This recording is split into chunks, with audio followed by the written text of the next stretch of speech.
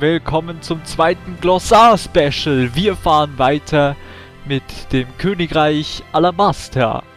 Das Wüstenkönigreich, das über Sandy Island, der Grand Line herrscht. Die Hauptstadt ist Abana. Aufgrund eines Plans von Crocodile und der Barockfirma trocknete das Land einst vollkommen aus. Das Volk verlor das Vertrauen in den König, was zu einer Rebellion und zu Auseinandersetzungen zwischen den Rebellen und der Königsarmee führte. Prinzessin Vivi und die Strohpiraten haben es jedoch geschafft, wieder Frieden nach Alabasta zu bringen. Rain Base, eine Oase im Königreich Alabasta. Sie ist für ihre Casinos bekannt und wird auch Stadt der Träume genannt. Das größte Casino der Stadt ist das Goldregen Casino, welches Crocodile gehört und als geheimes Versteck der Barockfirma fungierte. Die Himmelsinsel. Ein Sammelbegriff für Inseln, die im Himmel schweben. Auf einigen Wolken leben sogar Menschen mit Flügeln auf ihrem Rücken. Sie besitzen ihre eigene Kultur und unterscheiden zwischen dem weißen und schneeweißen Meer über den Wolken und dem Blaumeer unter den Wolken. Im schneeweißen Meer können Dias mit besonderen Fähigkeiten geerntet werden. Water 7. Eine Stadt auf der Grand Line. Sie wird auch Stadt des Wassers genannt. Frankie lebte früher hier. Die Stadt hat eine lange Schiffsbautradition und wird von Bürgermeister Eisberg geführt, der auch Präsident der Galera Company ist. Sie ist außerdem durch den Seezug, der auf der Meeresoberfläche fährt, mit anderen Städten verbunden. In der Stadt gibt es eine Reihe von Kanälen, durch die man mit den sogenannten Bulls fahren kann. Mit einem Wasseraufzug können die Bulls die Schiffsbauinsel im Zentrum der Stadt erreichen. Annie's Lobby, eine Insel, auf der sich die Justizeinrichtung der Weltregierung befindet. Sie wird auch die Justizinsel und Insel ohne Nacht genannt. Obwohl sie durch den Seezug mit Water 7 verbunden ist, dürfen Zivilisten die Insel nicht betreten. Sie wird für gewöhnlich von 10.000 Marinesoldaten und einer Streitmacht, die auch als Wächtereinheit des Gesetzes bekannt ist, bewacht. Obwohl hier auch Gerichtsverfahren für, für Verbrecher abgehalten werden, sind diese lediglich eine Formalität, die im Interesse der Weltregierung angelegt werden. Nach dem Urteilsspruch werden die Verbrecher durch das Tor der Gerechtigkeit in das Hochsicherheitsgefängnis Impel Down geführt. Thriller Bark das größte Kriegsschiff der Welt. Es gehört Gecko Moria. Auf dem Deck des Schiffes erstreckt sich ein ganzes Dorf mit Gräbern und Wäldern zwischen Villen und anderen Gebäuden. Die Mastvilla im Zentrum des Schiffes fungiert als Hauptmast.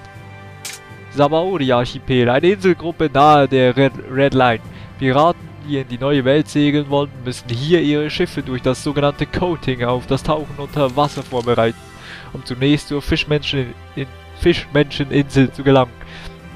Das Archipel wird von den riesigen Yalkiman-Mangroven geformt, die durchnummeriert sind und auch als Ortsbezeichnung verwendet werden.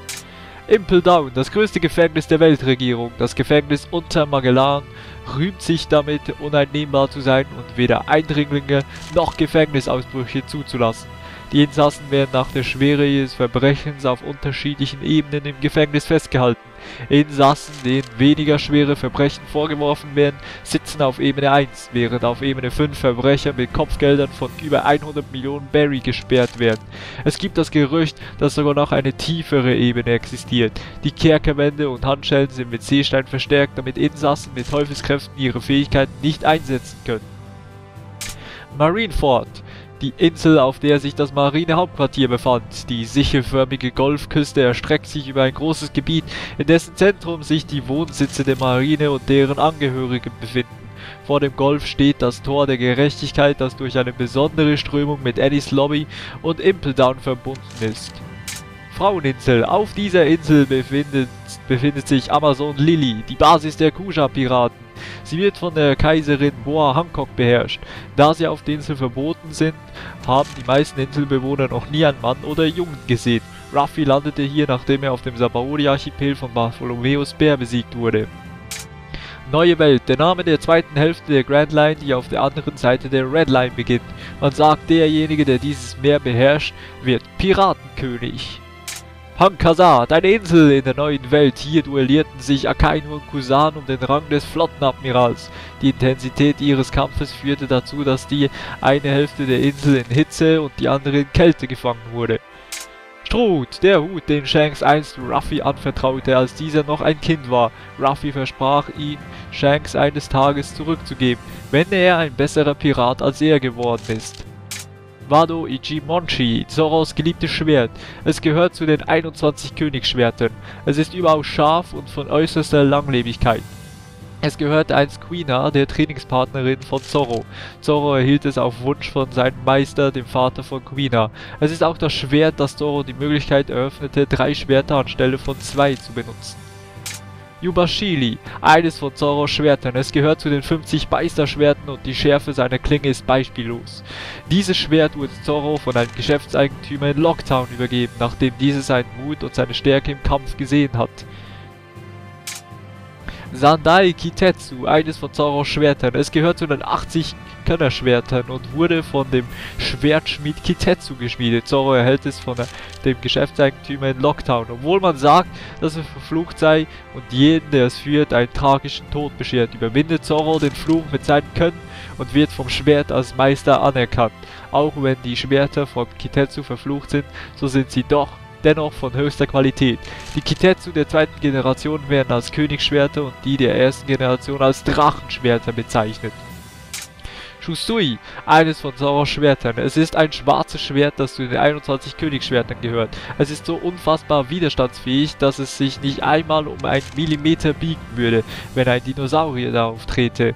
Es gehört, äh, gehörte einst dem legendären Samurai Ryuma, von dem man sagt, er hätte einen Drachen getötet. Klimataktstock. Der Klimataktstock ist Namis Waffe. Er wurde von Lysop gebaut und kombiniert drei verschiedene Stäbe. Jeder der Stäbe ist so ausgerüstet, dass er Hitze, Kälte und Elektrizität generieren kann. Nami kann diese Kräfte kombinieren und so eine Reihe von Wetterphänomenen hervorrufen. Die Angriffskraft der Waffe an sich ist nicht besonders hoch, kann aber bei richtiger Handhabung äußerst effektiv sein perfekter Klimataktstock. Der perfekte Klimataktstock ist Namis Waffe. Er ist eine von Lysop gebaute verbesserte Version des Klimataktstocks. Kombiniert mit Dials aus den Himmelsinseln sind seine Eigenschaften um einiges gesteigert worden.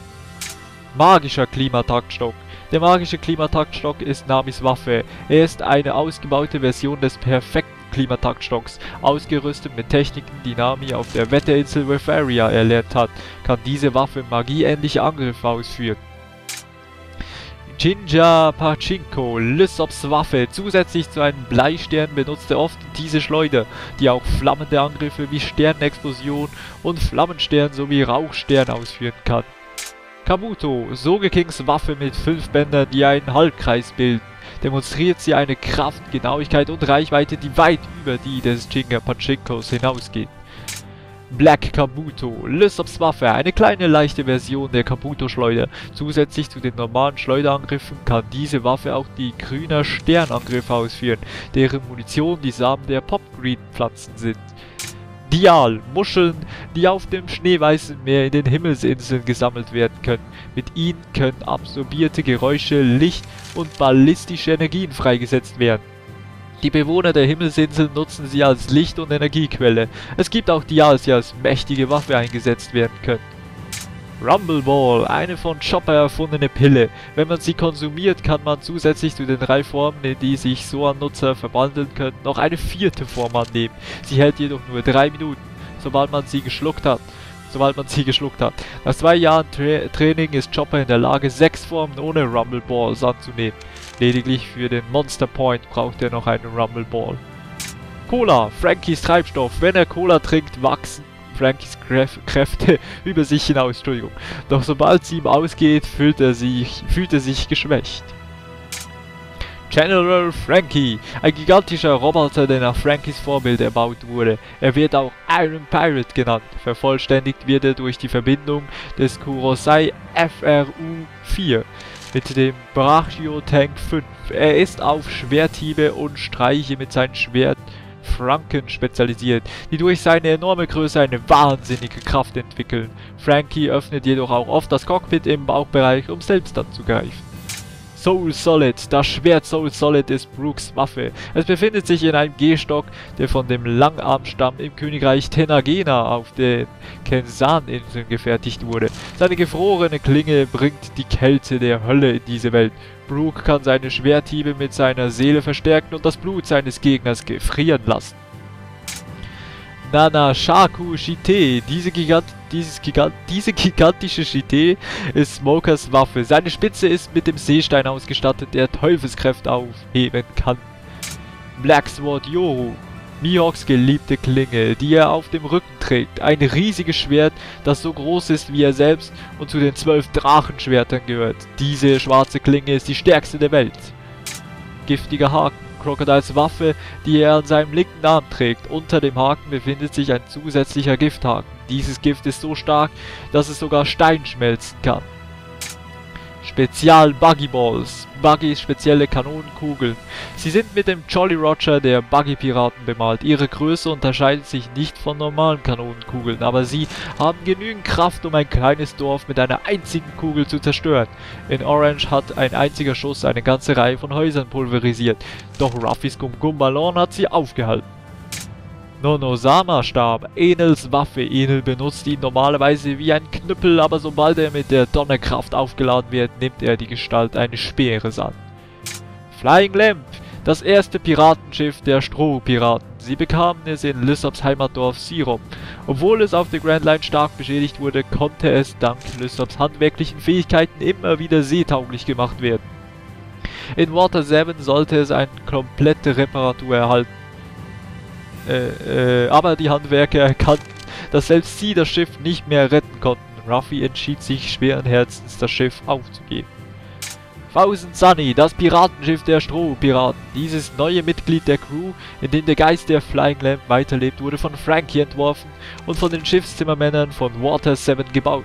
Seinen Namen bekam das Schiff von Eisberg, in der Hoffnung, es möge so hell wie die Sonne strahlen und fröhlich über tausend Meere segeln. Der Rumpf wurde aus dem Holz des Adamsbaums gebaut und dem, stärk dem stärksten Holz der Welt. Zudem ist die Thousand Sunny mit dem Soldier Dock System ausgerüstet, mit dem auf verschiedene Funktionen und ein Notfallantrieb, der Cola als Energiequelle nutzt, zugegriffen werden kann. Moby Dick das Schiff des großen Piraten Edward Newgate alias Whitebeard.